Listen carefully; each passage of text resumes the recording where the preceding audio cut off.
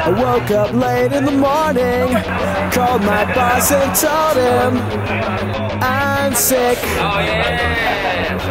Tuesday, I woke up late in the morning. I told my boss Mayday. Traffic.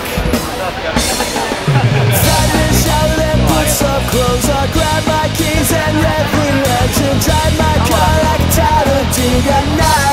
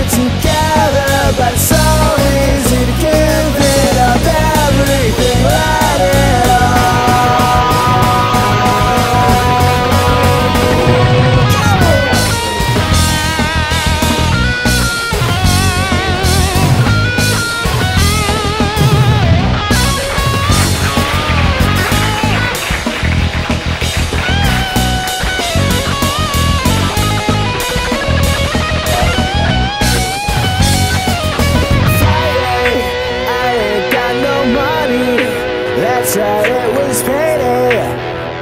Friday, stupid, nothing on my paycheck.